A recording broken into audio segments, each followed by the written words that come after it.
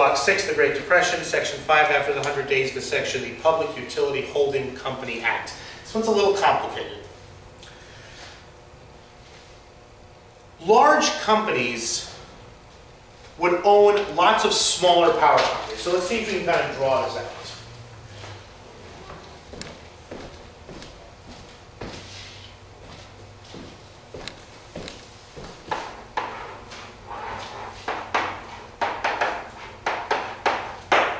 Big company. Big company would indirectly control, these are, these are power companies now, okay? Would indirectly control a group of small power companies. And that these big, and these are called holding companies because the one, the small companies are doing the holding for what in reality is one, you know, big giant company. This allowed these businesses to be more powerful than some of the states that they operated power in.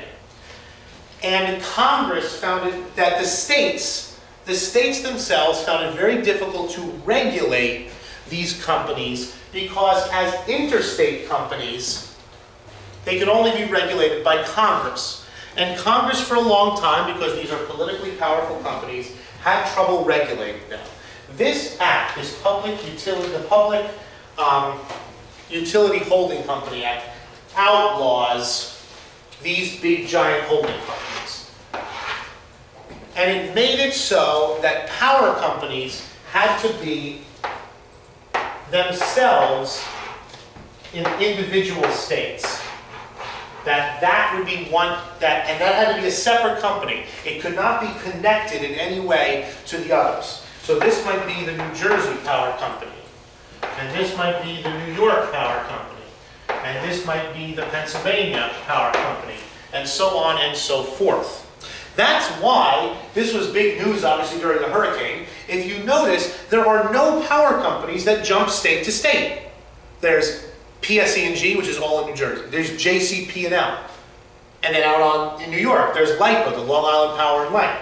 There's Con Edison in New York City. That none of them jump state to state. And the reason for that is this law, this uh, Public Utility Holding Company Act. When the power companies are restricted to one state, who can regulate them? The state governments. This allowed for control and regulation of the very powerful American energy or electricity industry. And it made the companies small enough where the states themselves could regulate them. Okay? So it banned these holding companies from interstate commerce. Congress has the power to regulate interstate commerce. It says holding companies cannot engage in interstate commerce. All of these little individual companies have to operate themselves within a single state so that state can regulate them for the benefit of their customers.